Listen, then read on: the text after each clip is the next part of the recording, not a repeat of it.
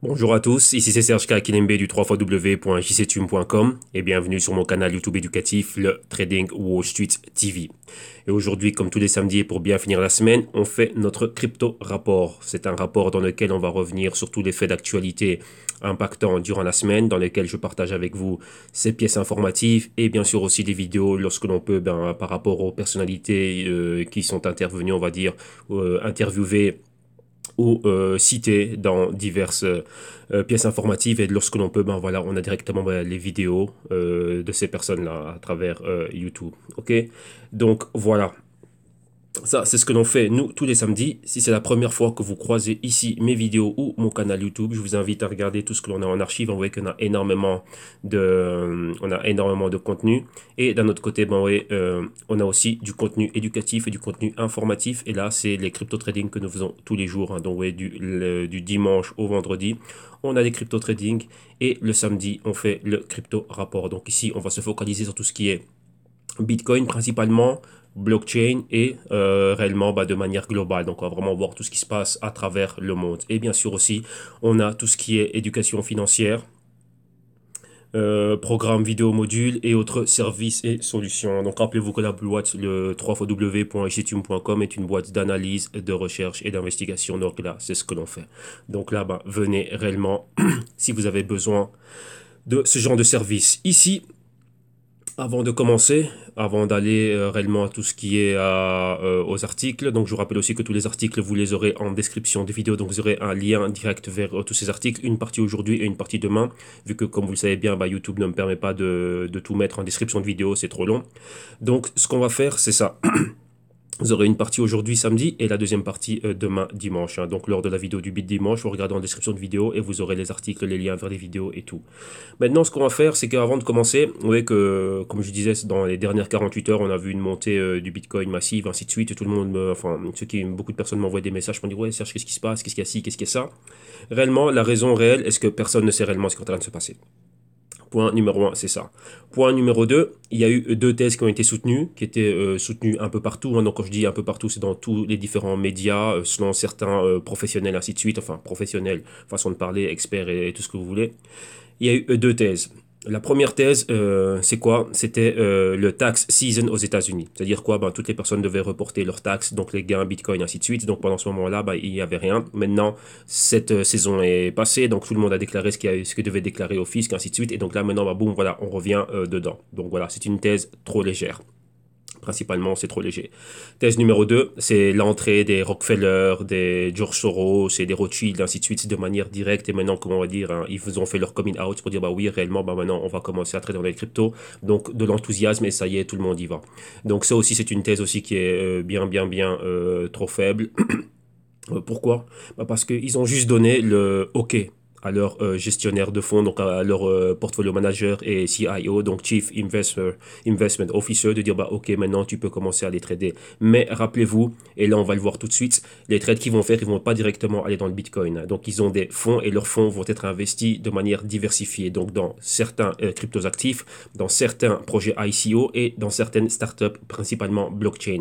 Rappelez-vous, ils vont avoir le gros de leur portefeuille qui est balancé au niveau infrastructure et ça c'est tout ce qui est blockchain, pas directement dans les cryptos.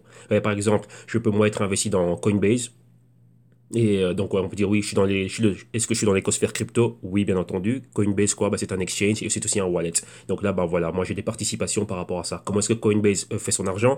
Lorsqu'il y a des, euh, des transactions, bah, Coinbase perçoit des commissions. Vous avez vu que l'année dernière, ils ont fait un chiffre d'affaires de, enfin, ils ont fait des, ils ont dépassé le milliard, je pense. Hein, oui, comme des exchanges aussi, comme Binance aussi, qui ont, des, qui ont fait des 2 milliards ou un truc pareil. Donc voilà, c'est comme ça qu'ils gagnent. Et donc moi, en tant que Rockefeller, ce que vous voulez, enfin, George Soros ou qui que ce soit, ben, une partie partie euh, cela bah, euh, me reviendra à moi. Donc ça c'est une manière indirecte d'être dans l'écosphère crypto. Donc rappelez-vous, faites super super attention. C'est pas parce que vous voyez que c'est marqué en grand Bitcoin qu'ils vont rentrer dedans. Et là, je rappelle, bon, si on prend le cas des Rothschild, on avait déjà couvert euh, l'année passée, donc en courant 2017, je ne sais plus quand exactement, lorsqu'il y avait le, lancement du, de l'ETF de GBTC, les Rothschild étaient déjà investis dedans. On voit c'est une manière indirecte d'être dedans, eux d'aller eux-mêmes directement dans un exchange ouvrir un compte, ben voilà, ils sont passés par le fonds et le fonds, euh, voilà, j'achète des participations dans le fonds et c'est le fonds lui qui va investir. Voyez, selon mon positionnement. Donc, si je suis acheteur, le fonds reçoit mon argent, il va, il achète euh, dans un exchange, peu importe Gemini ou Coinbase. Et si je suis vendeur, ben, l'exchange, voilà, et que je retire ma participation, ben, l'exchange va aller, euh, enfin, le fonds va aller à l'exchange et vendre. Donc, tout simplement, c'est ça. Donc, faut faire très, très, très attention aux mots. Vous voyez que les mots, c'est quoi? C'est du buzz qu'on est en train de chercher par rapport à quoi? Ben, Par rapport à tous ces médias outlets qui ont besoin ben, qu'il y ait des personnes qui viennent lire et visiter leur page et ainsi de suite. Donc, les mots qui font du buzz, ça attire pas mal de personnes. Ce maintenant, cependant, on va rapidement euh, regardez ici ce qui se passe au niveau technique. Ici, on a le Bitcoin, un, graphique euh, journalier, donc on va pas aller trop loin là-dedans. Donc là, on reviendra demain au niveau du bit dimanche pour aller bien plus en profondeur là-dessus. Si on regarde, on va rapidement prendre notre outil pour dessiner. Rappelez-vous d'une chose, on a ici un niveau de support que vous voyez ici. Donc vous voyez qu'on était clairement posé sur ce support. Un Support ici une fois, support deux fois. Comme vous voyez ici, on est toujours dans un canal baissier. Et chose que je disais hier, donc hier vendredi, je m'étais attardé un peu plus longtemps au niveau de tout ce qui était euh, trading, ainsi de suite. Et comme vous le voyez, on est ici en résistance. Donc vous voyez là, résistance du canal baissier, et ici on est dedans. Et si vous faites très attention, qu'est-ce qu'on est en train de voir maintenant? On est en train de voir un tweezer top, donc c'est-à-dire deux longues mèches juste au niveau de la résistance du canal. Donc vous voyez que le canal, depuis son inception ici, ben, il a été parfaitement respecté, et maintenant encore il est là, il est parfaitement respecté. Qu'est-ce qu'on est en train de voir au niveau du canal? Un rejet du canal. Donc on doit clôturer pour être au-dessus du canal. Comme vous voyez, on est toujours en train de faire cette vague, cette vague baissière. Ici, on a notre canal intermédiaire, ce qui fait qu'on est là, là, là, là, là et là. Et là, maintenant, on revient sur le canal. Donc on est en train de rejeter le canal. Donc vous voyez qu'il ne faut pas crier victoire trop vite. Euh, ça fait un bout de temps que je vous le disais. Si on n'est pas au-dessus des 8500, au-dessus des 9000, on n'est pas, on peut pas se considérer haussier. Là maintenant, on est en, on est en rejet de canal. Euh, donc là, on commence. Hein. donc euh, hier, on a rejeté ces niveaux de résistance de canal et aujourd'hui, on continue. Donc là, maintenant, on pourrait voir quoi? Eh ben, Le Bitcoin repartir encore à la baisse. Premièrement, atteindre euh, le support du canal intermédiaire et deuxièmement, aller encore bien plus bas pour atteindre comment dirais-je, le deuxième support. Donc là, on peut encore aller bien, bien, bien plus bas. Donc, vous voyez les niveaux plus bas auxquels on peut aller, comme vous voyez ici selon mes projections ici. Ben voilà, le point D qui est là. Donc, on a le A, le B, le C et le D ici. Donc, voilà ce qu'on peut atteindre. Donc là, euh, on n'est pas encore euh, sorti d'affaire. Il faut des confirmations. On n'a pas de confirmation. Ouais, euh, c'est juste ça. Donc là, maintenant, c'est quoi? Ben, Moi, si je vois ça, ben, ce serait quoi? Ben, Remettre encore pas mal de shorts, mais pas trop près de ces niveaux-là. Donc au niveau peut-être de l'ancien support ici, hein, donc aux alentours des 7600, 7500, revenir short, et si réellement on est au-dessus, ben voilà, être au-dessus des 8500 par exemple. Donc le laisser fluctuer dans ces zones-là, et réellement, ben voilà, si on va baisser avec force, être dedans, si on monte avec force, ben être dedans. Donc voilà, ça c'est pour euh, rapidement quelque chose de technique. Et maintenant, on va directement aller à ce qui nous intéresse. On va retourner au quoi? On va commencer ici le crypto rapport.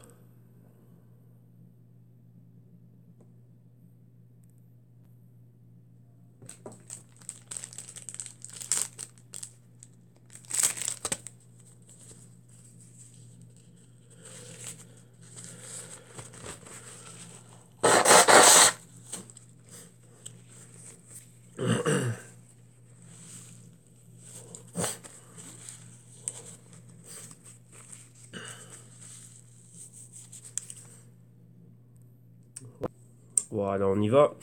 Petite pause mouchoir et on commence. Ah oui, dernier mot par rapport à la thèse que euh, vous avez vu, hein, qu'on parlait des Rockefeller, des Rothschild, ainsi de suite, qui rentraient. Première. Deuxième, c'était quoi la première que je dis? C'était le taxe 6 aux États-Unis. Ben maintenant, c'est fini, tout le monde revient. Là, euh, c'est un peu faible. Pourquoi? Rappelez-vous le volume. Il y a trois pays réellement qui font tout le volume crypto pour le moment, au niveau de trois monnaies. Hein. Donc, c'est le yen japonais numéro 1, le dollar américain et euh, le won sud-coréen.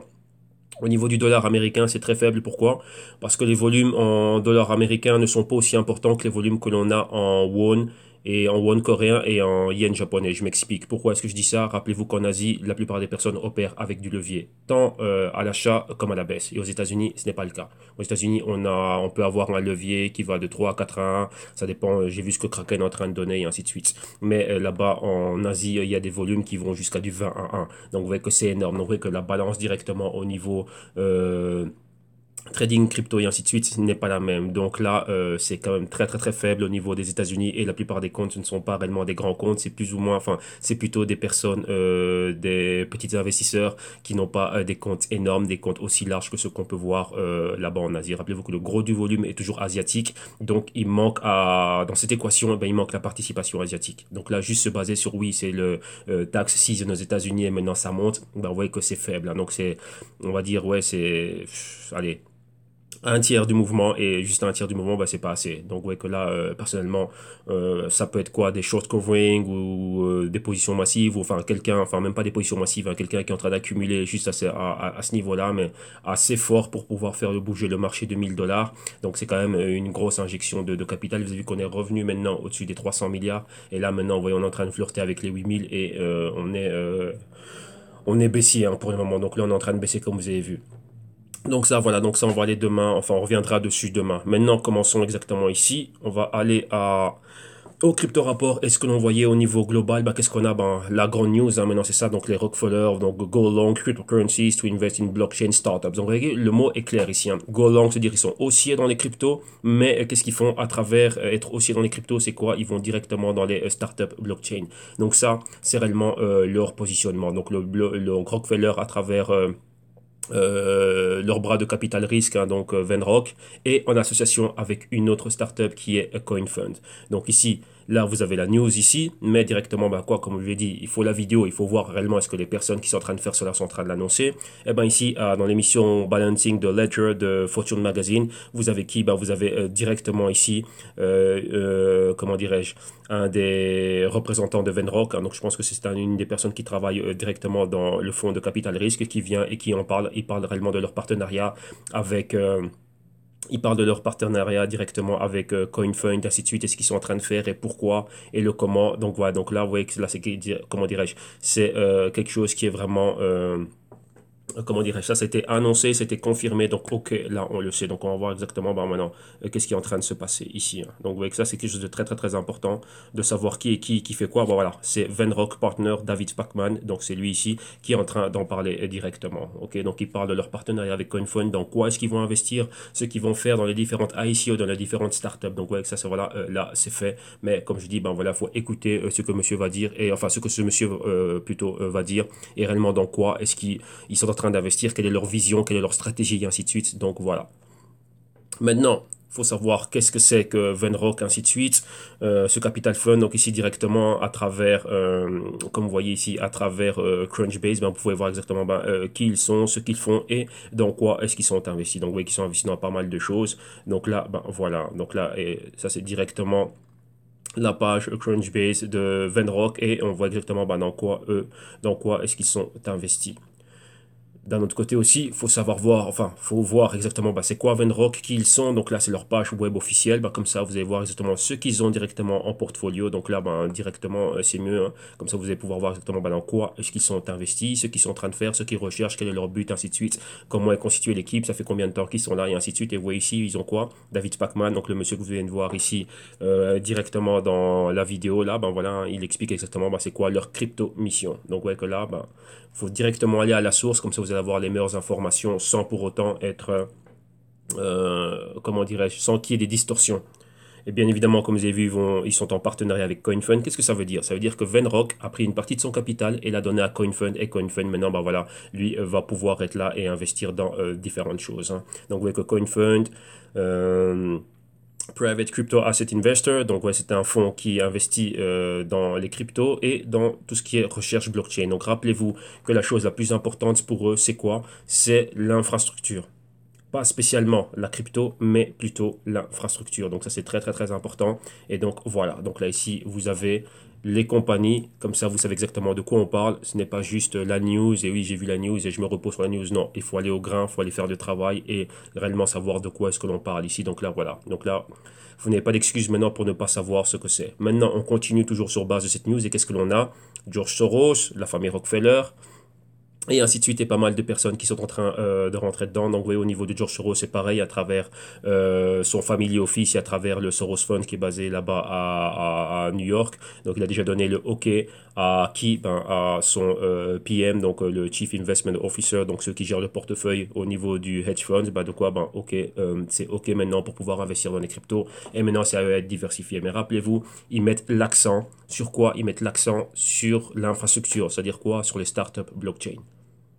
Donc ça c'est très très très important euh, de savoir cela. Et ici vous avez Charles Hoskinson, donc euh, euh, l'ancien cofondateur d'Ethereum qui maintenant est le CEO de IOHK Hong Kong, donc qui s'occupe du Ethereum classique et du Cardano, bah, qui dit que l'entrée des Rockefeller, des Soros et des Rothschild, donc cet argent, donc cette rentrée d'argent, bah, voilà, dans l'écosphère crypto, bah, c'est bien. c'est pas mal, et comme il dit, il y a un point clé, ça veut dire quoi? Que la régulation est en train de faire ses effets, et au plus c'est régulé, eux se sentent mieux pour, pour rentrer dedans. N'oubliez jamais une chose, c'est quoi Comme je l'ai dit, je vais montrer cet exemple euh, durant la semaine, lorsqu'on parle du old money, donc de l'ancien argent, on va dire ça comme ça, du vieil argent. Donc eux, ça fait partie du vieil argent. Maintenant, vous devez comprendre une chose, eux, ils sont principalement investis dans tout ce que vous voyez les, dans les private equity firms, dans les hedge funds, et dans pas mal de compagnies, comme je l'ai montré, les compagnies principalement du S&P 500, et ce, à travers le monde pourquoi est-ce qu'ils devraient retirer une partie de leur capital, des trilliards qui sont investis là, dans ces compagnies-là, et les placer dans les cryptos? Ça, c'est la question que vous devez vous poser lorsque vous êtes en train d'investir, ainsi de suite, vous êtes dans un projet, ainsi de suite, vous dites voilà, ça c'est ma décision, comment j'ai pris de rentrer dedans. Mais maintenant, il faut un consensus. Je vous dis toujours que Wall Street bouge en consensus. Et eux, c'est euh, des ténors, ce sont des immeubles euh, de Wall Street qui ne bougeront pas. Les Rothschild sont investis dans les compagnies de Wall Street, le Soros pareil, Rockefeller, ainsi de suite, pareil. Qu'est-ce qui va faire que ces personnes-là vont prendre une partie de leurs gains ou de ce qu'ils ont investi dans des grosses compagnies du S&P 500 et les mettre dans l'écosphère crypto? Ça, c'est la question qui est clé. Oui, la chose la plus importante, lorsqu'on est dans les marchés financiers, c'est de comprendre les flux de capital d'une classe d'actifs à une autre, d'un secteur à un autre, d'une industrie à une autre. Donc, dire quoi? Comprendre pourquoi est-ce que l'argent va bouger, pourquoi est-ce que nous, on va avoir du cash en dollars US et on va passer dans euh, le secteur automobile, du secteur automobile au secteur biotechnologie, du secteur biotechnologie au secteur technologique, du secteur technologique au secteur énergie, de l'énergie aux biens de consommation, des biens de consommation aux finances, des finances au secteur euh, de, je sais pas moi, des biens industriels, des biens industriels aux utilités. Il faut comprendre cela. Et maintenant, pour est-ce qu'on, comment l'argent est en train de bouger du secteur, euh, enfin pas, du secteur, mais d'une classe d'actifs à risque, donc de rente variable, à de la rente fixe, et vice-versa. Vous voyez? À travers des monnaies, à travers des commodités, à travers de la rente fixe, de la rente variable. Il faut comprendre tous ces mouvements-là. Donc là, maintenant, il y a des migrations de capital qui se font à certaines périodes. Il faut comprendre maintenant qu'est-ce qui est en train euh, de mettre de la pression qu'est-ce qui, euh, quelles sont les influences, voyez, quels sont vraiment les facteurs qui font que tiens, euh, le cash, l'argent, le dollar, le yen, ce que vous voulez, est en train de bouger de cette classe d'actifs pour une autre. Il faut comprendre le trade. C'est quoi le trade? Je vends la rente variable pour acheter de la rente fixe. Donc vente S&P 500 plus bon d'achat. Je vends le S&P 500 pour rentrer dans les actifs refuge. Donc euh, franc suisse, yen, japonais, entre parties le dollar, on peut dire ça comme ça, et d'un autre côté le gold. Pourquoi? Il y a ça qui est en train de se passer Donc maintenant, vous devez vous mettre dans la tête donc vous comprenez pourquoi est-ce que je parle toujours du mindset, se mettre dans la tête de ces personnes-là, du old money, donc Rockefeller, George Soros et la famille Rothschild. Pourquoi est-ce que nous, on devrait sortir d'où on est et rentrer dans l'écosphère crypto? Et ça, c'est la question euh, qu'il faut vous poser. Donc c'est là que vous devez aller au grain, regarder ce qui se passe au niveau des fondamentaux. Vous voyez que ce n'est pas directement dans les cryptos qui viennent, ils viennent dans l'infrastructure. Une crypto n'est qu'un véhicule d'investissement. Il faut comprendre si c'est un véhicule d'investissement, un véhicule circule sur une, sur une route sur une, dans, dans, une infrastructure, sur une autoroute, sur une voie, euh, une rue ou une avenue, ou ce que vous voulez, un boulevard. Alors maintenant, il faut comprendre que eux, ils veulent quoi? Ils veulent dominer le boulevard et ainsi de suite. Pourquoi? On peut mettre des péages. Donc toi, si ton véhicule n'est pas régulé comme ça, comme ça, comme ça, bah tu rentres pas ici. Ouais, tout simplement, lorsque vous voyez une autoroute, bah, vous pouvez pas aller en bicyclette sur l'autoroute. Bah, c'est une voie euh, pour, euh, pour automobile avec certaines spécifications et ainsi de suite. Vous pouvez aller en, trottinette sur une autoroute. Vous voyez? Donc c'est ça. Eux, c'est ça pour le moment, c'est l'infrastructure. Donc on voit qu'il y a une migration du capital, mais dans quoi? L'infrastructure. Et les compagnies qui sont derrière l'infrastructure, qui sont en train de financer cette infrastructure, ce sont les mêmes compagnies que vous retrouvez dans lesquelles ils sont déjà investis. Donc les IBM, les Google et tout ce que vous voulez, ainsi de suite. Ok? Très important. Maintenant, comme je vous disais avant, euh, la Rothschild Family, donc Rothschild Money était déjà dedans au niveau de quoi? Du GBTC. Ouais. Donc ça, déjà, c'était déjà fait. Là, on avait déjà couvert cela et ainsi de suite. Donc, vous voyez qu'il faut vraiment euh, remonter en arrière et regarder. Donc, vous voyez qu'ils viennent, ils sont des, déjà rentrés dedans de manière indirecte. Hein. Même euh, Rockefeller, enfin non, même pas, même George Soros est déjà investi de manière indirecte à travers euh, overstock.com et ainsi de suite. Donc, c'est très, très, très important de comprendre cela. OK? Donc voilà, là c'est un gros chapitre, on le ferme parce qu'il y a beaucoup de personnes qui étaient très enthousiastes et, très émotionnées de dire ah bah tiens, on va y essayer maintenant, c'est la fin du monde, enfin c'est pas la fin du monde, c'est le paradis maintenant, ils vont rentrer, ils vont mettre des trières et on va y aller. Non, non, non, c'est un long processus. Vous vous posez des questions, pourquoi est-ce qu'ils vont rentrer? Sachez-le, c'est comme vous et moi, dès qu'on a notre capital, on prend notre capital et on l'injecte dans Coinbase ou dans Bitstamp ou Bitfinex, quoi que ce soit, ça y est, on est dedans. Mais rappelez-vous qu'un fonds ne fonctionne pas pareil. Il y a des paliers, il y a des règles il y a des lois euh, dans un fonds. C'est-à-dire que d'abord, tout est basé sur la recherche. La recherche doit être approuvée. Une fois que c'est approuvé, on a ce qu'on appelle le money allocation. Il faut un money management, un risk management. Et après seulement, on va vers l'exchange et on se dit, bah tiens, on y va. Ou on va au marché, ou on va, de, ou on va hors marché. Donc, on va au TC. Donc, il y a pas mal de paliers qui doivent être franchis. Donc, il il y a pas mal de super bonnes idées qui n'aboutissent pas au niveau des investissements. Pourquoi? Ben, Parce que ça ne va pas avec euh, le fonds. Vous voyez, le fonds a ce qu'on appelle des partenaires limités, donc des personnes qui apportent du capital, et ben ils ont certaines conditions. Ils disent voilà, je mets X% de mon capital, mais tu n'investis pas dans ça, dans ça, dans ça, dans ça, dans ça. Rappelez-vous, c'est le old money. Le old money a des vieilles habitudes, et ces habitudes, y a son gagne-pain. Vous voyez, ils ont leur vache à lait, leur poule aux odeurs, et euh, aux odeurs, euh, aux œufs d'or, pardon, et ils ne veulent pas que ça change. Donc là, il faut arriver à convaincre euh, toutes, ces personnes de cette génération-là. Donc là, c'est euh, très, très, difficile à le faire. Donc, pour le moment, la meilleure chose pour eux, c'est quoi? C'est une entrée au, comment dirais-je, qui vise plutôt tout ce qui est start-up et ainsi de suite. Donc, ouais, c'est ça. Au niveau des cryptos, il manque beaucoup de régulation et au niveau des ICO, pareil. Donc là, ça va se faire par étapes. Première étape, vous allez plutôt voir bien plus d'argent rentrer dans quoi? Euh, Dans tout ce qui est, euh, comment dirais-je, dans tout ce qui est start-up. On voit comme c'est le cas ici. Hein. Donc lorsque vous voyez un peu euh, le genre de capital qui est en train de rentrer, ben, vous voyez ici hein, les funding run, vous voyez une ICO ici, ben, 5 millions, vous allez plutôt voir l'argent là-dedans que de voir directement l'argent rentrer dans quoi? Dans des projets, enfin, dans une crypto en, concrètement. ok? Donc voilà, c'est ça, un long paragraphe, il y a beaucoup de choses à voir, ben, c'est pas en 10, 15, 20 minutes qu'on va comprendre tout ça, il faut aller bien, bien, bien euh, plus en profondeur là-dedans, mais bon, on va en rester là, ok? Donc là, vous avez déjà vu une partie de ces compagnies, ben maintenant, il n'y a pas d'excuse, vous savez c'est quoi, vous savez où aller regarder, vous savez ce que vous devez regarder, et suivre ces compagnies-là, et suivre réellement ce qu'ils sont en train de faire. Vous voyez que ça, c'est juste trois grands noms, hein. donc c'est trois grands noms qui font du buzz comme le Bitcoin, mais vous voyez qu'il y a bien plus que ça, donc il y a bien plus de personnes qui vont arriver derrière, il y a d'autres acteurs aussi super, super importants qui sont derrière, donc vous voyez qu'il faut un consensus, il faut que tout ce capital rentre au même moment, vous voyez comme tout ce capital est dans le Dow Jones, dans le S&P ou dans le Nasdaq au quotidien et on voit ben, ces fluctuations de prix qui sont là et on voit ben, les cotisations de ces actifs ou de ces secteurs ou de ces industries euh, au top. ok? Bon, maintenant, qu'est-ce qu'il y a? Euh, Pour conclure avec ça, bon, la vidéo ici ne veut pas se lancer. C'est une vidéo qui nous parle des venture capitalistes et qui nous dit, bah tiens, bah, pourquoi est-ce que les venture capitalistes sont en train de regarder l'écosphère crypto, mais ils se basent plutôt sur tout ce qui est startup, euh, startup blockchain et ICO. Donc là, c'est en gros cette vidéo-là. Bon, là, elle veut pas se lancer, mais vous allez la voir, euh, vous l'aurez en description de vidéo ici. Hein. Et ici, c'est une autre vidéo. Là, maintenant, on va à Bloomberg et on va au ICE. Qu'est-ce que c'est que le ICE? C'est le International Intercontinental Exchange. Donc ça, ce sont les, les propriétaires du New York Stock Exchange, donc les propriétaires de Wall Street. Et ici, vous avez le CEO. Et a maintenant quoi En train de parler du crypto trading. Donc, vous voyez que ça arrive à ce niveau-là. Et maintenant, eux, ils en parlent. Le New York Stock Exchange est là et ils en parlent. Et euh, juste pour info, ces personnes-là sont propriétaires en partie actionnaires majoritaires dans Coinbase, qui est une compagnie privée pour le moment qui n'est pas encore listée. Mais vous voyez que là, ils sont déjà dedans. Ok, donc là ils sont déjà en train de parler de ce qu'est euh, crypto, euh, crypto trading et comment ils sont en train de monter. Rappelez-vous, je dis ça arrive par étapes. C'est par étapes que c'est en train d'arriver. Il faut la régulation, il faut tout, tout cela. Donc, comme vous voyez là, lui, c'est une des personnes qui est chargée euh, ben, du capital, on va dire bah, de quoi? Bah, Du hold money. Donc, des Josh Soros et toutes ces personnes-là, ben, voilà, ils passent par lui, vu que lui, il a le New York Stock Exchange. C'est quoi le New York Stock Exchange? Bah, C'est le Dow Jones, c'est tout ce qui est en train de, euh, euh, de passer par là. Donc, toutes les compagnies que vous connaissez dans le Dow Jones, donc Apple, suite et tout ça, ben, ça passe par les mains de l'organisation de ce monsieur. Donc, vous voyez, bah, c'est ça maintenant. Qu'est-ce qu'il va faire maintenant? Quoi Qu'on va amplier le tout? Et qu'on va avoir une expansion et rentrer maintenant dans l'écosphère crypto. Donc vous voyez, ça se passe par palier, mais ça se passe dans les coulisses. Dans les coulisses de quoi? Dans les coulisses de Wall Street. Il faut comprendre ce qui est en train de se passer là-bas. Et nous, on ne voit que les résultats. Donc, dans vos recherches, vous devez aller bien plus loin pour savoir eux comment ils sont positionnés. Rappelez-vous ce que j'ai dit au début, ce sont des migrations de capital qu'on doit regarder. Le capital, il bouge comment? Donc voilà, la question elle est là. Vous avez vu ici la personne qui était à la tête du New York, euh, Stock Exchange, donc de Wall Street, les propriétaires de, de cet exchange-là. Comment est-ce que l'argent qui est investi dans les compagnies que lui est en train de superviser au quotidien, pourquoi est-ce que l'argent devrait passer du New York Stock Exchange à l'écosphère crypto?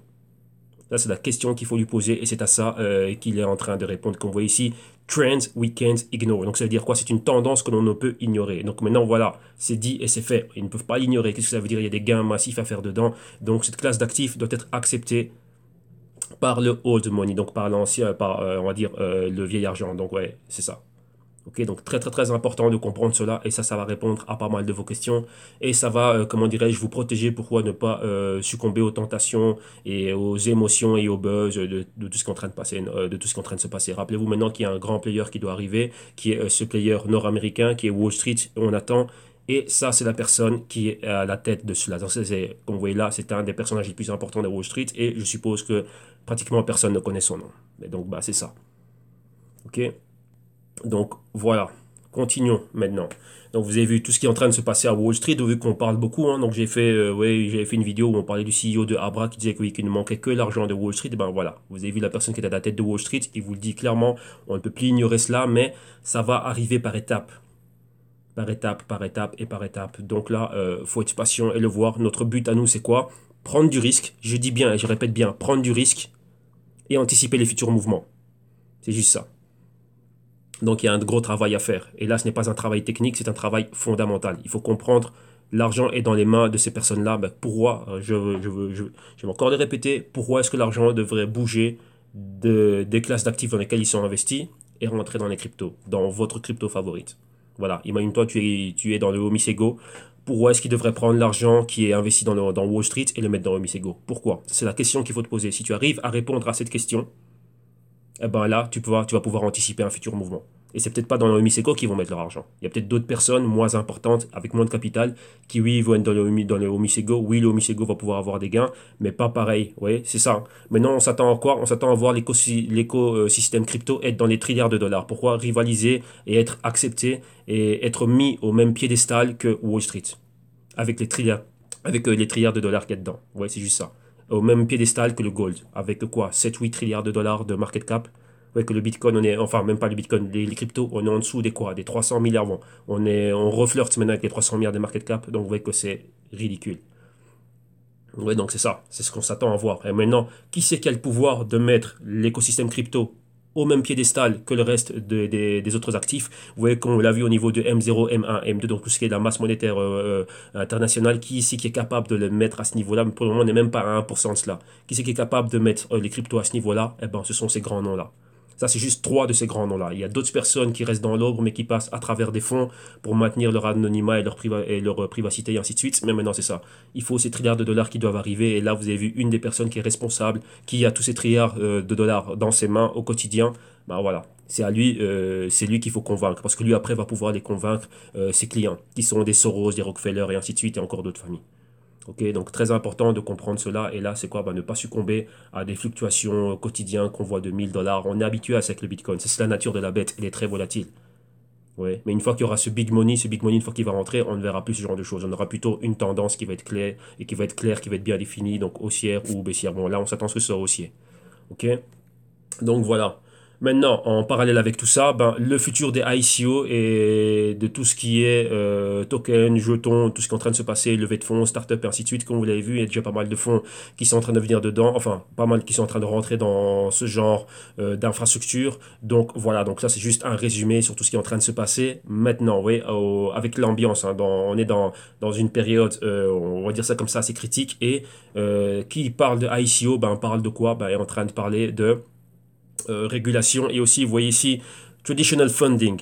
À l'époque, c'était les venture capitalistes qui, faisaient cela. Ben maintenant, voilà, ils sont un peu plus euh, en, arrière. dès que vous voyez VC, pensez à venture capitaliste, donc des fermes, enfin des fermes, des compagnies comme Venrock et ainsi de suite et tout ça. C'est eux qui faisaient cela. Maintenant, on a les ICO. Donc, vous voyez, maintenant, il y a un équilibre qui doit se passer entre les deux et ils doivent pouvoir avancer main dans la main. Ouais, donc là, c'est très important euh, de lire cela. Donc ça, tout ça, c'est en parallèle avec ce qu'on vient de voir au début avec les Rockefeller et ainsi de suite et tout ce qui est en train de se passer. C'est ça.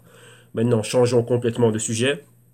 Et on va terminer ici avec la cybersécurité et qu'est-ce qu'on a le cryptojacking. Qu'est-ce que c'est que le cryptojacking Tout simplement, vous voyez qu'en 2017 ça a commencé, maintenant en 2018 ça s'est accentué. C'est quoi? C'est miner des cryptos à votre insu. Vous voyez qu'il y avait, c'était le cas avec Monero. Donc, vous visitez une page, et ben voilà, une fois que vous êtes sur cette page, et ben vous êtes en train de miner du Monero sans que vous le sachiez. Donc, on utilise votre puissance euh, CPU pour commencer à miner euh, une crypto. Dans ce cas-ci, principalement, c'était euh, le Monero. Et comme vous voyez, ben là, c'est au niveau de la cybersécurité, ben, il y a pas mal de rapports qui ont été faits et on voit que le cryptojacking est en train d'augmenter de plus en plus. Donc, vous voyez que là, il y a du bien, mais il y a, enfin, il y a du bon et il y a du mauvais aussi. Donc là, on a fini tout ce qui est global. Donc vraiment, les gros titres qu'il y avait cette semaine-ci, c'est vraiment ça qui était super, super important. Et maintenant, on va visiter un peu les différents continents. On va au Kenya, et maintenant, vous voyez au Kenya, euh, qu'est-ce qui s'est passé? Ben, La Banque centrale a encore émis un communiqué pour dire c'est pas bien d'investir dans les cryptos, il y a des dangers, des risques, vous pouvez tout perdre, c'est une fraude, ainsi de suite et tout ça. Un communiqué venant de la Banque centrale, et ce n'est pas la première fois que euh, c'est en train de se passer. Et vous savez bien que là-bas, euh, on avait déjà couvert cela qu'au Kenya, ben, beaucoup de personnes traitent les cryptos, vu que la, comment la devise, ben, c'est pas ça du tout, il faut attraper des dollars, mais dollars avec premium, donc voilà, c'est très très très dur. Donc donc c'est super super compliqué de mettre la main sur des dollars. Et ce qui fait que quoi? Ben, les premiums que l'on paye lorsqu'on rentre dans les cryptos c'est cher. Très très très cher. On paye des, des, premiums super super élevés. Voyez comme au, comme en Corée du Sud. Et pareil pour certains pays africains. Maintenant la réponse à cela. Ici vous avez on retourne encore à Balancing Ledger de Fortune. Et vous avez ici le CEO de M-Pesa de BitPesa. Vous voyez, avec le M-Pesa, c'est une monnaie qui avait été créée là-bas en Afrique, une monnaie euh, locale. Vous voyez, euh, pourquoi? Pour combattre les problèmes d'hyperinflation et d'inflation des monnaies locales, donc principalement au Kenya. Et maintenant, ils ont fait le BitPesa.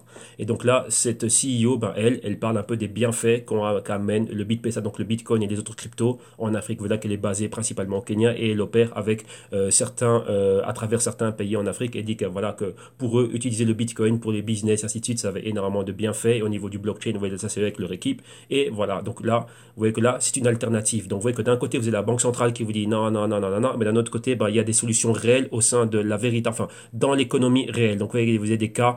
Euh, des cas d'utilité concrète à travers le Bitcoin. Vous voyez, des monnaies fortement dévaluées euh, qui ne valent pratiquement rien hyper, euh, hyper avec de l'hyperinflation, une, une, inflation euh, euh, indescriptible. Mais d'un autre côté, bon, vous avez ça. Donc, vous voyez, Tanzanie, Ouganda, Kenya et Nigeria, ils sont déjà en train d'utiliser BitPesa avec le Bitcoin et les personnes réellement, les commerçants, les entrepreneurs arrivent à s'en sortir. Donc, vous voyez là qu'il y a un plus. Donc, vous voyez que d'un côté, les entités qui peuvent être rendues obsolètes par tout ce qui est blockchain, tout ce qui est P2P, B2B et bien sûr les cryptos, les communiqués qu'ils font. Et d'un autre côté, vous avez voilà une jeune femme qui se lance dans, dans, une aventure entrepreneuriale et qui réellement ramène des bienfaits avec les cryptos. Maintenant, ouais, à ce niveau-là, qu'est-ce qu'il faut? Bah, Il faut améliorer la rapidité de transaction et euh, le temps et ainsi de suite et la sécurité. Mais vous voyez qu'il y a déjà un cas concret. Vous voyez que là, ça les permet euh, comment dirais-je, ça permet aux personnes bah, de mener une vie normale. Rappelez-vous aussi ce qui est en train de se passer au Venezuela avec euh, le, le, pétrole et ainsi de suite, l'hyperinflation qui est là-bas et ainsi de suite. Vous voyez qu'à travers les cryptos, bah, ils peuvent faire pas mal de choses. Donc ici, voilà. Donc ici, on a vraiment euh, le côté pile et le côté face. D'un côté, la banque centrale, l'autorité centralisée du pays qui vous dit non, pas bien. Et d'un autre côté, ben voilà, la population qui dit oui, bien, moi, ça me permet de faire quelque chose. Vous voyez comme ici, payer mes employés, ainsi de suite, et utiliser BitPesa. Ok? Donc voilà. Maintenant, on laisse l'Afrique. Euh, au niveau, bon, il y avait la région MENA, donc Middle East, North Africa, euh, au niveau de Dubaï, les Émirats Arabes Unis, ainsi de suite. Euh, il n'y avait pas grand-chose à dire, sauf que, comme vous voyez ici, il y aura le World Blockchain Forum qui va, ouais, c'est maintenant, je pense, hein. ça va commencer, je pense, à partir du 20, je pense que c'est à la fin du mois. Il y a eu deux grands forums. Il y en a eu un euh, début de ce mois-ci, on aura encore un, euh, fin de ce mois-ci et au mois de mai. Donc là, c'est juste ça. Donc là, on le couvrira par après lorsqu'on aura quelque chose. Maintenant, on va aux States, donc aux États-Unis. Et qu'est-ce que l'on a là-bas? Ben, On voit encore en photo ici, on a monsieur Jimmy Dimon, donc PDG de JP Morgan Chase, mais ce coup-ci, ce n'est pas lui, c'est sa banque, dont il est responsable. Et maintenant, qu'est-ce qu'il y a? Ils ont un problème. Et c'est quoi le problème? C'est quoi? Rappelez-vous qu'à un moment donné, ils ont interdit à tout client de JP Morgan Chase, donc euh, JP Morgan et Chase Manhattan, vu que ce sont eux qui sont en train d'émettre leurs cartes de crédit et de débit, et euh, il y avait aussi une action avec Visa et Mastercard pour interdire les clients de quoi? De financer leur compte de trading ou d'acheter des cryptos à travers euh, leur compte bancaire et utiliser les cartes qu'ils avaient, donc Visa, Mastercard et euh, les cartes émises par JP Morgan. Donc là, il y a eu un problème. Donc ils ont interdit à leurs clients de faire ça. Rappelez-vous qu'il y avait pas mal de banques qui faisaient pareil. Donc JP Morgan, Citigroup, qui, est, qui est encore Wells Fargo. Mais maintenant, qu'est-ce qu'ils ont fait? Les clients qui ont fait cela, qui malgré tout ont fait cela, qu'est-ce qu'ils ont eu? Ils ont été chargés, ils ont eu des, euh, comment dirais-je, hein, euh, des commissions extra injustes. Et qu'est-ce que ça fait maintenant? Ben, Ils se sont attaqués en justice. Vous voyez, donc là, il y a un gros problème euh, par rapport à ça. Donc, vous voyez, juste pourquoi ben, on empêche nos clients d'acheter des cryptos.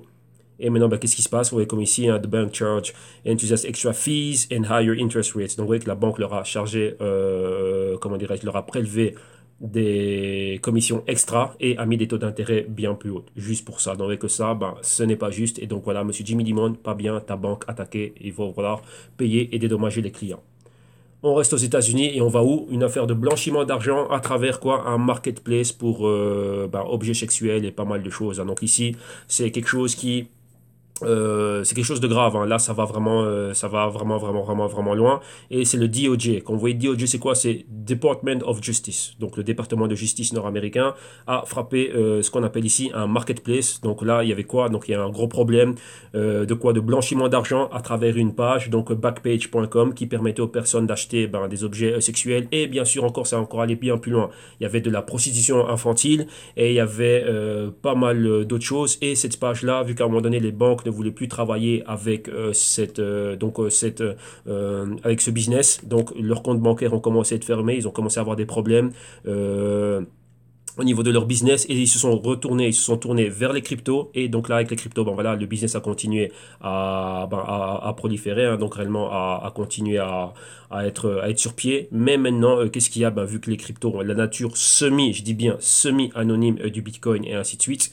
et eh ben maintenant on se rend compte qu'il y avait des histoires de prostitution, oui, underage prostitution, donc euh, prostitution, euh, je, peux dire infantile. Hein. D'un autre côté, euh, trafic sexuel et encore pas mal d'autres choses à travers backpage.com. Et donc là maintenant, il y a un gros problème. Et maintenant, backpage.com, qu'est-ce qu'il y avait vu que pour pouvoir recevoir des paiements crypto, vous avez besoin d'un wallet et si vous recevez des, des, paiements avec différentes cryptos, bah, vous passez par un exchange. Pourquoi? Bah, Pour pouvoir euh, faire vos conversions. Et Backpage.com, il s'avère qu'ils étaient clients de Coinbase. Donc vous voyez que maintenant ça tâche aussi le nom de Coinbase. Donc vous voyez qu'ils avaient, ils ont bossé avec Coinbase, enfin ils bossent jusqu'à présent avec Coinbase, GoCoin, Paxful, Kraken et ainsi de suite. Donc là ça tâche le nom de ces exchanges-là.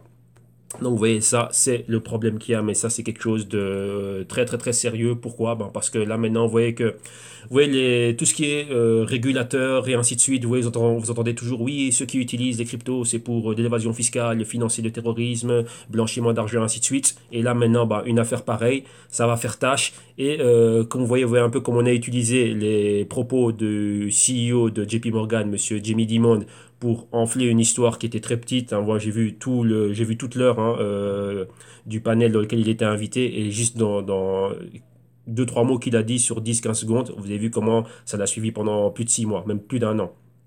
Alors ici, lorsque vous voyez quelque chose pareil, ça c'est du pain béni pour tous ceux qui veulent casser les cryptos, surtout au niveau des gouvernements euh, toute institution centralisée, tous ceux qui sont contre les cryptos et ainsi de suite, une affaire pareille, euh, croyez-moi, on va en entendre parler pendant longtemps. Déjà quand il y avait l'histoire des images porno retrouvées dans la blockchain Bitcoin, ainsi de suite et tout ça, alors là maintenant vous rajoutez ceci et vous rajoutez des noms comme Coinbase, rappelez-vous Coinbase qui commençait à avoir des problèmes au niveau du fisc, hein, il demandait d'avoir euh, des transactions de X nombre de clients, ainsi de suite, et maintenant on voit que Coinbase, son nom est relié à backpage, backpage.com, donc là c'est pas fini.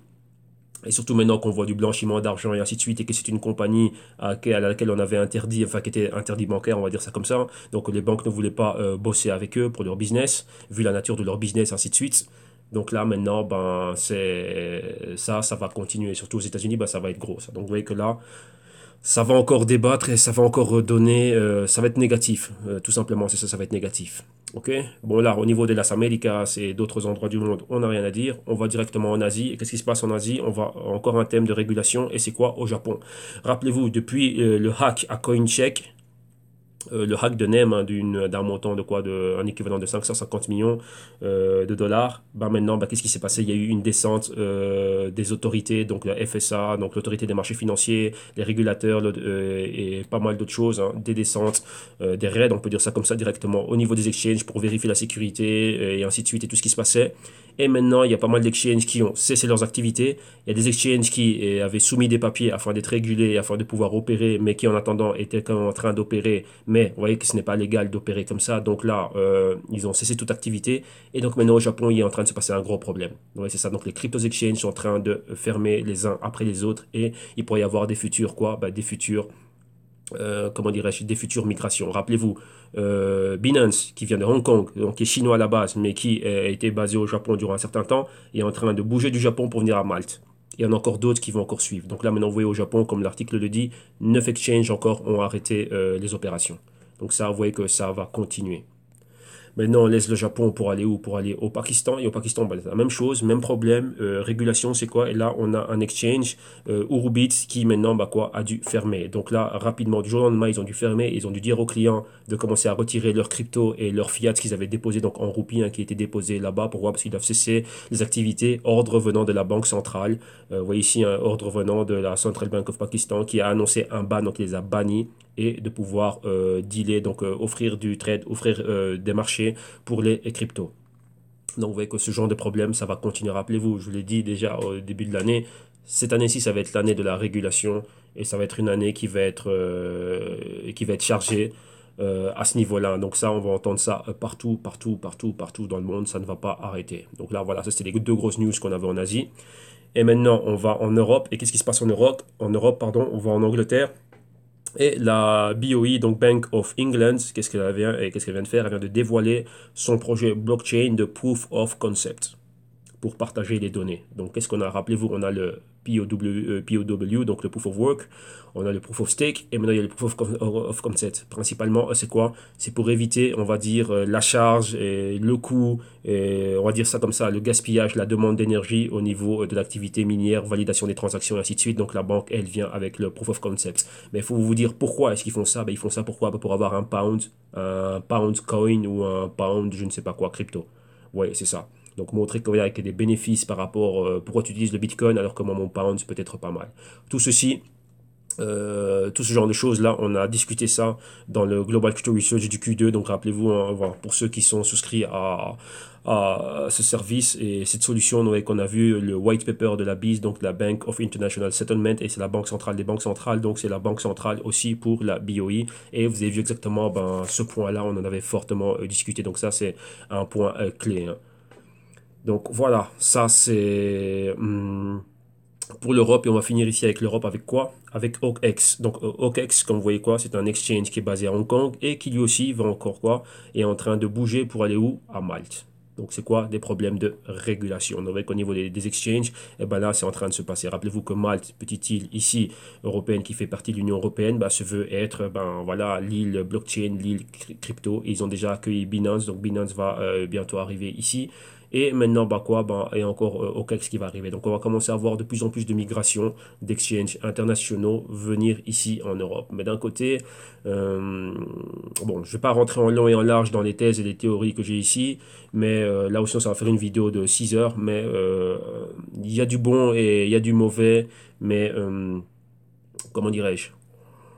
Euh, pour moi, c'est une espèce de toile d'araignée qui est faite. Hein. Vous voyez, on est en train d'attirer euh, pas mal de personnes. Une fois que ces exchanges vont, vont être là, vous voyez, les exchanges n'auront, pas le choix. Hein. Donc, je pense qu'à la fin, euh, tous les exchanges vont venir être basés ici en Europe.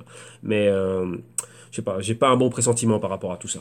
Ouais, donc ça, c'est, on va en rester là. Moi, pour moi, bah, c'est bien de voir, oui, si, ça, ça, mais je n'ai pas un bon pressentiment de voir ce qui est en train de se passer lorsque je vois tous ces exchanges arriver ici. Et déjà, lorsqu'on voit le système bancaire européen, comment il est, euh, ouais, déjà tous les problèmes que l'on a. Maintenant, tu peux pas bouger 1000 euros, tu peux pas arriver à ta succursale, dire, ouais, je veux 1000 euros, on dit, oui, non, monsieur, reviens dans une semaine, juste pour 1000 euros, alors que moi, j'ai l'argent qui est là. Vous voyez qu'au niveau des brokers et de la, la ESMA, enfin, l'ESMA, ce qu'ils sont en train de faire au niveau du levier, tout ce qu'on a, les conditions de trading, maintenant, les régulations qui sont en train d'arriver. Donc, ceux qui utilisaient Bitstamp, comme institut dont vous avez vu que maintenant on a commencé, enfin je sais pas si vous l'avez, vous l'avez eu euh, sur et certain, euh, les nouvelles régulations au niveau de Bitstamp, euh, qui maintenant il y a des KYC, Know Your Customer et tous ces trucs là qui commencent à arriver, le AML, ainsi de suite. Donc une fois que tous ces exchanges vont être ici et qu'il y a déjà tout le monde qui est en train d'opérer là-dedans, ben là ce sera un do or die. Qu'est-ce que ça veut dire? Ou tu acceptes ce qu'on va te dire de faire, ou tu vas te faire voir et finis tes activités. Donc d'un côté, oui, et d'un côté, non, mais euh, pour moi, ça sent pas bon. Même voir des Binance, suite qui sont en train d'arriver ici, ben, je vous le dis clairement, c'est mon pressentiment, ça sent, ça, sent pas bon. Pourquoi? La plupart d'entre vous avaient commencé maintenant avec les cryptos, et ainsi de suite. Mais bon, voilà, euh, moi, venant de la bourse classique, ça fait déjà depuis des années que je suis en train d'opérer, ainsi de suite. Hein, donc, depuis des années, euh, voilà, depuis, je sais pas, les 2013, 2014, ainsi de suite. Et j'ai vu avec le temps comment est-ce que déjà les brokers ont commencé à changer.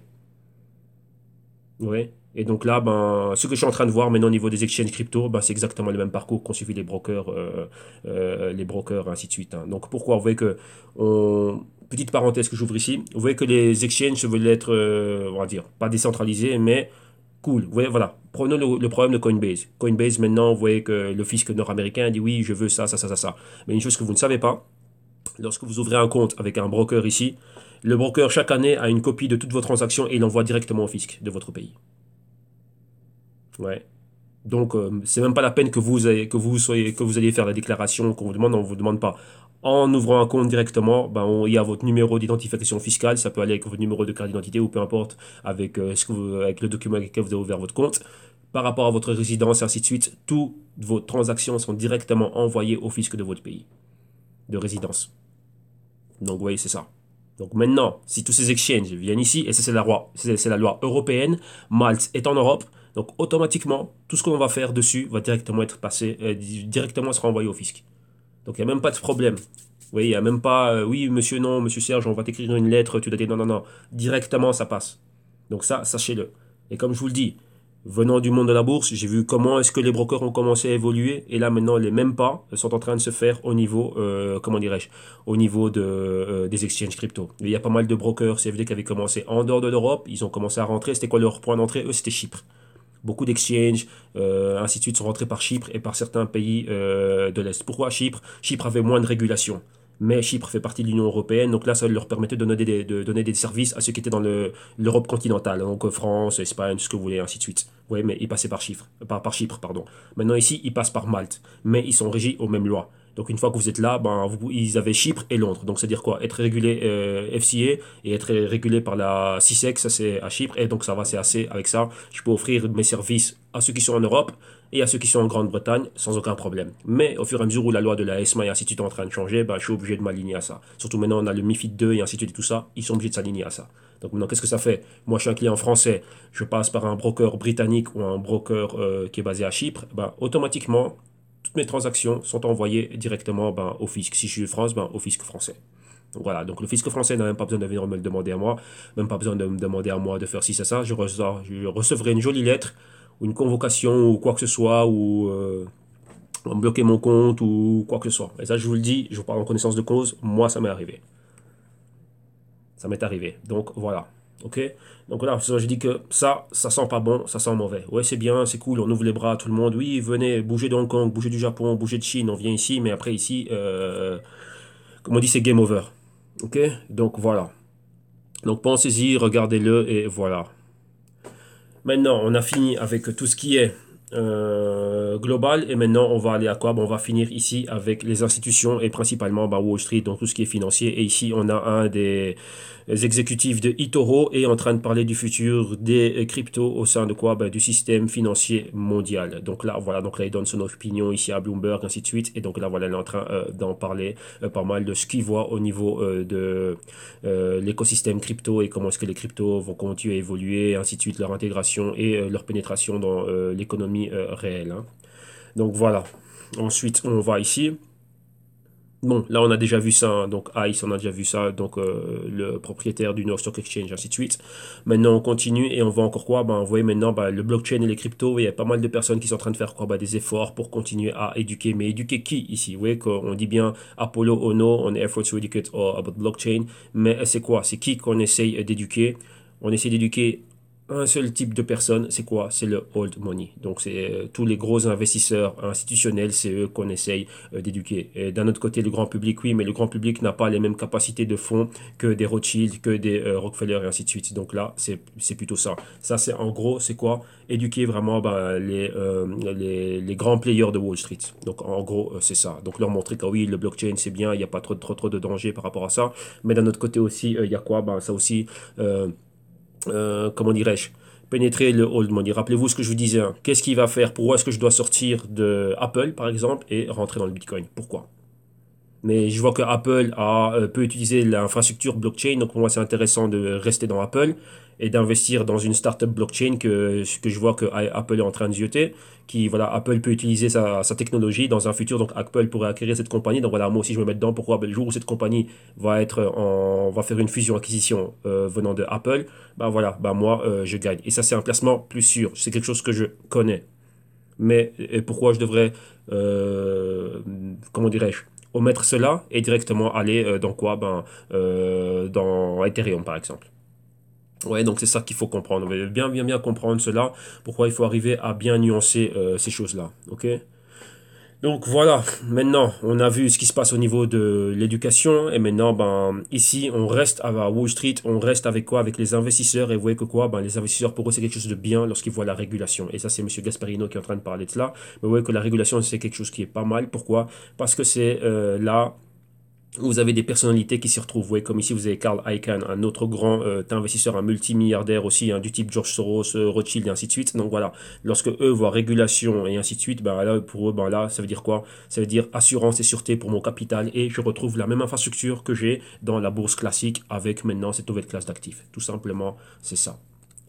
Donc maintenant, continuons. Et ici, qu'est-ce que l'on a? Maintenant ici, on va à Pantera Capital, qui est une autre euh, VC, donc venture capitaliste, et euh, pour eux, c'est quoi? Ils ont fait un market call. Donc c'est quoi? Rappelez-vous, le but du jeu des années, bon, eux, c'est pas des analystes, mais les analystes, par exemple, qui bossent à Pantera Capital, ou moi, ou, qui que ce soit d'autre, on doit faire ce qu'on appelle des market calls. C'est pour ça qu'on nous paye. On nous paye pour dire, bah tiens, Serge, où tu vois le ci, où tu vois le ça, fais-moi une stratégie, un système par rapport à ça, et ainsi de suite, et tout ça, donc c'est ça.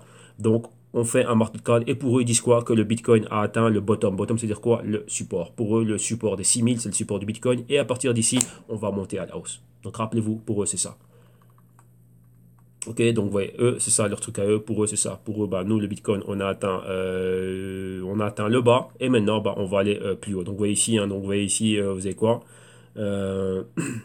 le point bas ici, donc les 6000, voyez, on est là sur ce support, et pour eux, bah, c'est ça. Donc si on passe là, et c'est quoi? Ça, c'est de 200 days, donc c'est la moyenne mobile de 200, de 200 jours. Vous voyez qu'on est juste en dessous, et pour eux, bah, c'est quoi? Bah, Ça va être le point d'achat au-dessus des 8000. Donc pour au-dessus de 8000, bah, là, voilà, on est là. Et comme on dit ici, the cryptocurrency just breached its 200 day moving average. Donc, vous voyez, just breach, dire quoi? On vient de perforer cela à la hausse. Pour, euh, durant un moment donné, on était en dessous. Vous voyez ici, on était en dessous, on l'a retesté, on est reparti en dessous, on est venu le retester. Maintenant, c'est quoi? Si on a une clôture au-dessus de ce niveau-là, on peut aller plus haut. Vous voyez qu'ici, on était plus bas et on est revenu clôturer euh, plus haut. Là, on a clôturé juste plus bas, mais on n'a pas eu de la continuité qu'on a. Et c'est quoi la continuité? C'est en dessous des 6000. Ok, donc ça, pour eux, c'est ce qu'ils sont en train de voir. Ok?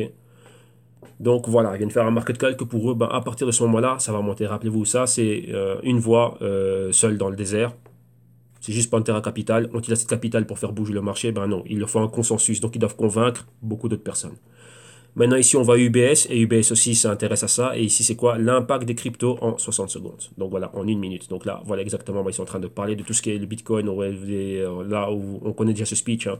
Donc, euh, spéculatif, ainsi de suite, tout ce qui est en train de se passer. Le Bitcoin, oui, mais euh, nous, on préfère quoi? Ben, Nous, on préfère le blockchain. Donc, on préfère l'infrastructure et on veut que ce soit régulé, centralisé, et ainsi de suite. Donc là, voilà. Rappelez-vous que UBS est en train de faire le Utility Settlement Coin. Donc, c'est-à-dire quoi? Leur propre crypto. Une crypto, on va dire je veux dire centralisée, hein, mise par une, par une institution euh, centralisée, donc euh, une banque, une banque d'investissement, backée aussi par une banque centrale et qui va pouvoir être utilisée et par les institutions et aussi par le grand public. Donc là, voilà, donc ça aussi, on étudie ça dans le Global Crypto Research. Vous avez cet aparté là où on regarde le papier de la BIS et, on parle de cela. Donc là, comme ça, vous avez l'opinion de UBS. Maintenant, on va et on reste avec Bloomberg, on reste avec les institutions et on va à Hong Kong. Et si vous avez euh, Roger Ver, donc euh, le CEO de Bitcoin.com, celui qu'on appelle Bitcoin Jesus et ainsi de suite, donc le premier investisseur dans le Bitcoin. Et euh, maintenant quoi? Bon, un de Silicon Valley, donc un ex venture capitaliste, un ex entrepreneur là-bas et ainsi de suite. Et maintenant, qu'est-ce qu'il y a? Euh, rappelez-vous que lui, il est derrière des projets comme euh, Bitcoin Cash, Quantum et ainsi de suite. Et on lui a demandé, bah tiens, vu que, euh, rappelez-vous un peu la guerre qu'il y avait à un moment donné, que Bitcoin Cash était le véritable Bitcoin et que Bitcoin non, vous voyez qu'il a commencé par le Bitcoin et du Bitcoin il a transité, donc il a migré vers le Bitcoin Cash. Et ici, il dit que oui, il a encore un peu de Bitcoin Core, donc on va dire du Bitcoin original. Mais pour lui, le Bitcoin Cash, c'est vraiment the real deal, donc c'est vraiment le véritable Bitcoin. Et il dit, voilà, tous les bienfaits du Bitcoin Cash, donc utilité pour les petits commerçants, euh, pour des transactions euh, quotidiennes, ainsi de suite. Donc là, voilà, ça c'est son point. Donc il vient encore défendre et faire sa pub. C'est marrant, hein, ici, toutes les 30 secondes de dire Bitcoin Cash, c'est le véritable Bitcoin, Bitcoin Cash, ainsi de suite et tout ça. Donc voilà, là c'est euh, sa vidéo, c'est le personnage. Donc voilà, on aime bien Roger Ver. Et nos deux derniers articles, ici on va regarder ce qui se passe au niveau des Winklevoss Brothers, donc les, propriétaires du Gemini. Rappelez-vous, Gemini, c'est quoi? C'est un exchange régulé, 100% régulé par la SEC, donc l'autorité des marchés financiers euh, aux États-Unis, donc à New York. Et un exchange qui donne les prix du, je m'en souviens jamais si c'est CBOE, soit, il donne l'un des prix de pour l'un des contrats futurs. Et maintenant, qu'est-ce qu'ils ont fait? Ben, Pour éviter l'impact des gros ordres, donc vous voyez que lorsqu'il y a des grosses baleines qui veulent faire euh, des gros mouvements ou euh, qu'il y a un rush de mouvements haussier ou baissier, et ils, ont, ils vont faire quoi? Du block trading. Donc qu'est-ce que c'est que le block trading? Que les ordres peuvent être en train de fluctuer, donc euh, qui est un flux normal d'ordres mais s'il y a trop d'ordres qui vont dans une direction, ben on va faire des blocs. Donc ils vont pas être exécutés directement, ben ça va être exécuté par bloc. Pourquoi? Ben Pour éviter, un, les congestions et pour éviter les crashs euh, massifs. Donc tant que ça va à la hausse, tant mieux. Mais lorsque ça va à la baisse, euh, voilà. Donc un, une petite news, enfin, petite leçon pour vous. Euh, à New York, donc au New York Stock Exchange, lorsque le marché baisse de X%, le, marché, le marché est congelé. Donc on arrête tout, on laisse que ça passe. Les market makers font ce qu'ils ont à faire. Enfin, pas les market makers. Ici, ce sont les spécialistes qui vont faire en sorte que la casse soit. Euh, euh, qu'il y ait moins de casse. Et ensuite, on réouvre le marché. Donc ici c'est pareil. Donc là c'est euh, plus ou moins ça équivaut à faire la même chose, faire des blocs. Donc dès qu'on voit qu'il y a trop d'ordres, eh ben boum, on va couper les ordres, on va faire le process des ordres que l'on a. Donc ça fait un bloc, on fait ça on laisse que la, la, chose se calme un peu, donc vous voyez qu'il y ait de l'offre-demande un peu plus équilibrée, et ensuite on continue. Imaginez-vous si c'est une journée où le marché baisse de 50%, et eh ben on va faire des tranches de 10%. On va faire un bloc 10% de baisse, les autres 40%, on va pas exécuter cela, donc ça va rester sur le côté, ça va être congelé. On va s'occuper des premiers 10%, vendre, vendre pour ceux qui veulent vendre.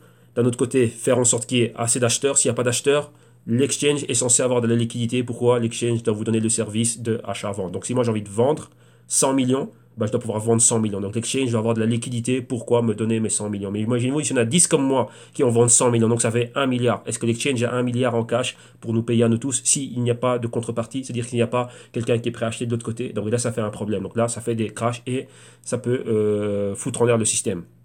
Donc, pour pallier à ce problème-là, ils vont faire des blocs. Donc, vous voyez que s'il y a un milliard d'ordres qui vont à la baisse, eh ben, ils, peuvent faire 25% ou 10% ou euh, je ne sais pas comment ils vont le faire, mais en gros, c'est ça. Donc, comprenez que lorsque vous voyez block trading, ben, ça va être ça. On va d'abord exécuter, faire en sorte qu'il y ait de l'offre et de la demande pour ces ordres-là. Si nous, on a la liquidité, tant mieux. S'il n'y a pas ça, ben, on doit trouver une solution.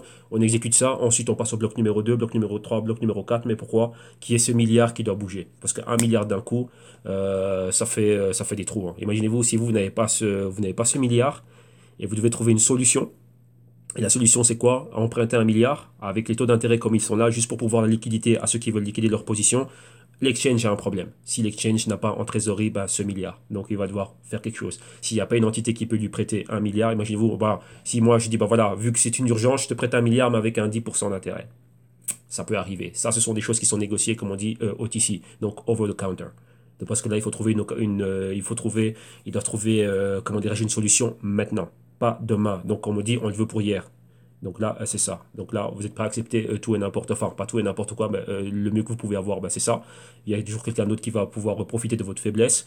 Mais le gros problème ici, c'est ça. Donc là, ça peut arriver. Donc là, ils prennent des mesures pour pouvoir, comment dirais-je, prévenir. Vaut mieux prévenir que guérir, comme on dit. Donc voilà, comme ça vous comprenez un peu le concept qui est derrière.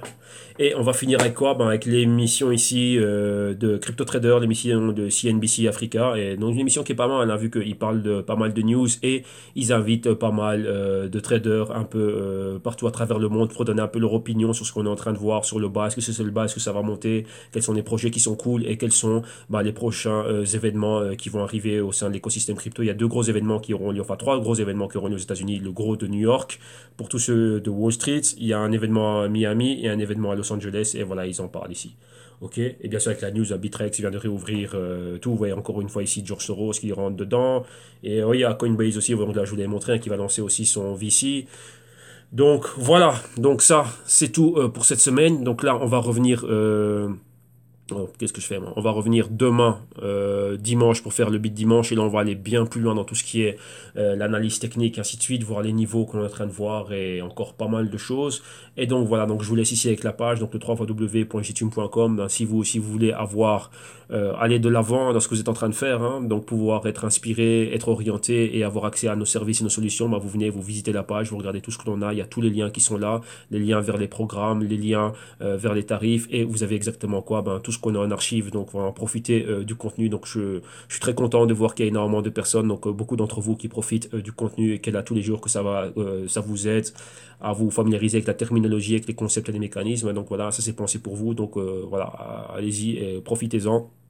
Et aussi ben, pour tous ceux qui sont déjà clients, donc qui ont souscrit à nos services et nos solutions, donc content de savoir que le contenu euh, vous a apporté de la valeur et carrément une valeur ajoutée réellement. Donc voilà que vous êtes content. Donc là c'est le but. Hein. donc on va continuer. Et là maintenant dans cette deuxième semaine-ci, vous allez avoir la deuxième partie, euh, la partie finale euh, du Global Culture Research et aussi la partie finale. Enfin le Global Culture Research va être fini et aussi le PDF. Donc là je suis en train de le finaliser aujourd'hui. Donc là vous allez commencer au courant de euh, d'ici la fin du week-end. Donc vous allez euh, continuer à recevoir les vidéos actualisées et le PDF actualisé. Et bien sûr, après, il y aura une vidéo insider qui va venir. Donc là, je vous ai préparé quelque chose de pas mal. OK? Donc voilà. ça, c'est tout pour aujourd'hui. Rappelez-vous, tous les liens, vous les aurez dans la description de vidéo ici bas.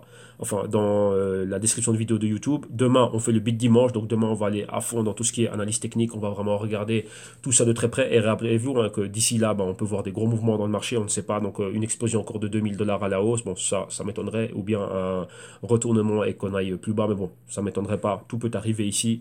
Donc, voilà. OK? Donc, un grand merci à vous tous. Excellent week-end, excellent samedi. Et on se retrouve demain euh, dimanche. Et ah oui, comme pièce informative qu'on va faire, c'est quoi? Ben, On va s'attarder. Euh, je vais faire une petite. Euh, Flash Info, on va revenir sur euh, tout ce qui est Rockefeller, George Soros, ainsi de suite. Donc, les petites pièces informatives de moins de 10, euh, enfin de 10 minutes, un max. Hein. Donc, on va refaire ça. Donc là, on va déjà prendre cela avec Venrock, ainsi de suite, et voir réellement ce qui est en train de se passer à ce niveau-là. Ok? Donc, voilà. Donc, ça, ça va arriver aujourd'hui, demain, ou enfin, lorsque j'aurai un moment, je vais faire cette vidéo. Ok? Donc, voilà. Un grand merci. Excellent week-end à tous. Bon samedi. À demain. Bye bye.